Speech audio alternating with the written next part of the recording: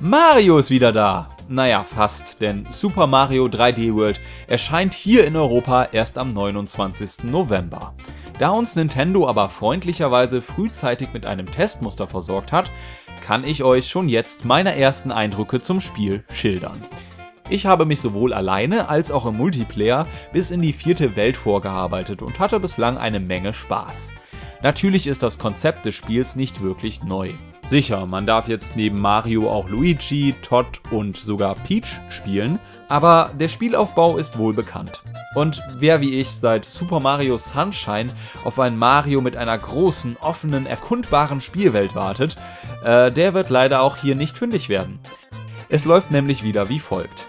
Von der Weltkarte aus wählt ihr die unterschiedlichen Level, die wie in Super Mario 3D Land recht kurz und linear gehalten sind. Wie immer gilt es natürlich, die zahlreichen Hindernisse, Abgründe und Gegner zu überwinden, um schließlich sozusagen das Ende der Fahnenstange zu erreichen. Das Konzept ist alt, aber die Level sind zum Glück mal wieder vollgepackt mit frischen, lustigen Ideen. Eigentlich bietet so ziemlich jedes Level etwas Neues. Mal schwimmt ihr auf einem freundlichen Dino einen Fluss entlang und dann bekommt ihr eine praktische Mutant-Piranha in die Hand gedrückt, die euren Weg frei frisst. Natürlich finden Mario und Co. darüber hinaus noch jede Menge Power-Ups. Neben alten Bekannten, wie etwa der Feuerblume, kann sich Mario nun ja bekanntlich auch einen Katzenanzug überstreifen.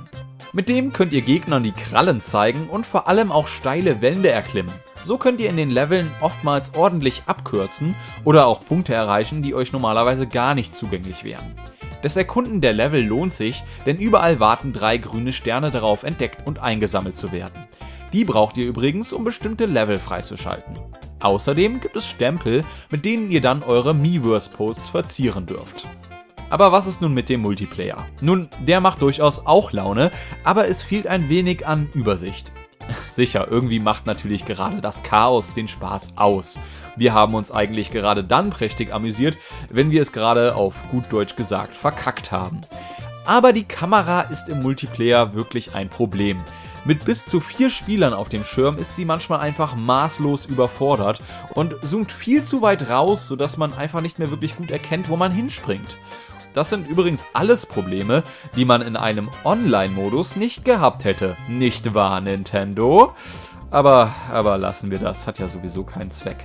Kommen wir lieber zum Fazit. Super Mario 3D World erfindet das Rad nicht neu, hat aber durchaus genug neue Ideen, um trotzdem auch Mario-Veteranen eine Menge Spaß zu bereiten.